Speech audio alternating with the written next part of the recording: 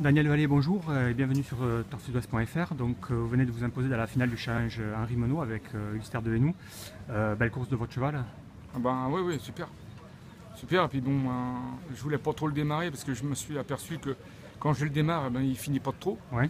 Là, j'ai démarré à sa main. Après, euh, ben, je suis resté en queue de paquet.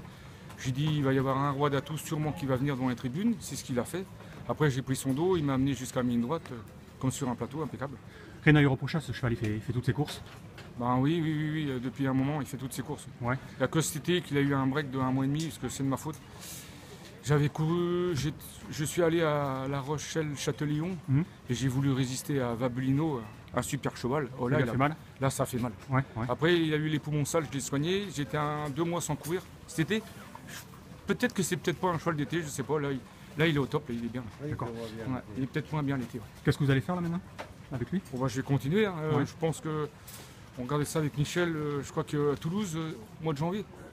Il courses. c'est envisageable avec lui un jour ou- Comment? Vincennes? Non, non. C'est pas non, j'ai essayé, mais il- non. Il Il, sur la côte. il, en- il- il- il monte pas la côte. D'accord, ok. Donc vous allez pour les Grands Prix de, ouais, ouais, ouais, de région? Ici, ouais. Ouais, ok. Bravo. Merci.